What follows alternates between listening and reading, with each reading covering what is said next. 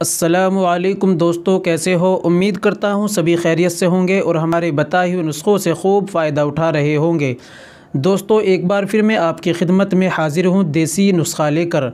आज का नुस्खा हमारे उन भाइयों के लिए है जिनको परेशानी है सपनदोस की परेशानी है, या धात रोग हैं, या जिरियान की परेशानी है, या चिपचिपा पानी जाता है, या शिगर पतन जैसी बीमारी है। उनके लिए बहुत ही अच्छा और सस्ता नुस्खा है, केवल दो चीज़ों का नुस्खा है और बहुत ही आसान है। दोस्तों, आज की वीडियो में हम आपको जानकारी देंगे ये नुस्खा कैसे इस्तेमाल करना है और कैसे आपको बनाना है और क्या क्या परहेज़ करने हैं। दोस्तों, इस नुस्खे के इस्तेमाल से इन आठ खुराक से ही आराम मिलना शुरू हो जाएगा। चलिए जान लेते हैं इस नुस्खे के बारे में। दोस्तों, शुरू करने से पहले हम आपसे गुजारिश करते हैं कि अगर आप हमारे चैनल पर नए आए हैं या अभी तक आपने हमारा चैनल सब्सक्राइब नहीं किया तो जल्दी से चैनल को सब्सक्राइब कर लें और बेल आइकन पर, ऑल पर प्रेस कर दें। और दोस्तों, जल्दी से वीडियो को भी लाइक कर दें। चलिए जान लेते हैं इस नुस्खे के बारे में और इसके फ़ायदे।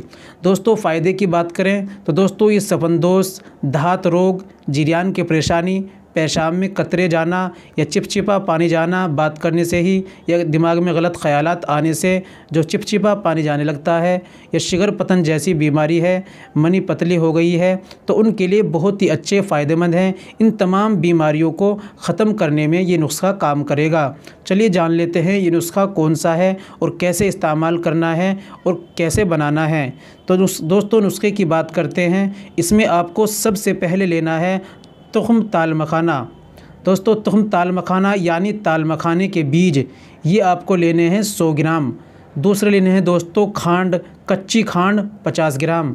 ये दोनों चीज़ें आपको मिल जाएगी पंसारी की दुकान से, जहाँ पर देसी आयुर्वेदिक दवाई मिलती है। वहाँ से इन दोनों को लाइए और लाकर तुम ताल मखाना को आप कूट कर और मिक्सर मशीन में ग्रैंड कर लें, बिल्कुल पाउडर बना लें। और इसके अंदर खांड को ऐड कर दें। दोनों को अच्छी तरीके से मिला लें। अब आपकी दवाई तैयार है। तो दोस्तों, अब अब समझना है कैसे इस्तेमाल करना है। चलिए दोस्तों, जान लेते हैं इसका इस्तेमाल करने का तरीक़ा।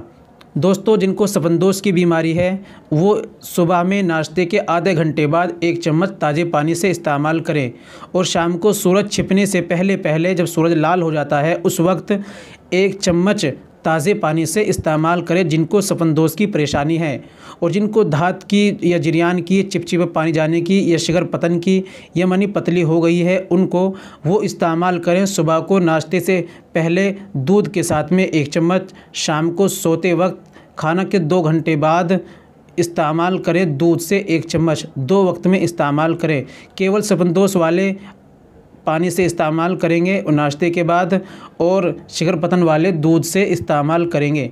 दोस्तों, दो वक्त में इस्तेमाल करना है और परहेज़ ज़रूर करें। परहेज़ में चाय का, अंडे का, मीट मसाले, गरम मसाले, खट्टी चीज़ें और बड़े का, छोटे का, गोश्त, कब्ज़ वाली चीज़ें, नुकसान देने वाली चीज़ें, इन तमाम चीज़ों का परहेज़ करें और पेट में कब्ज़ ना होने दें। अगर कब्ज़ की परेशानी है तो कब्ज़ की दवाई खाएँ, उसके बाद दवाई का सेवन करें।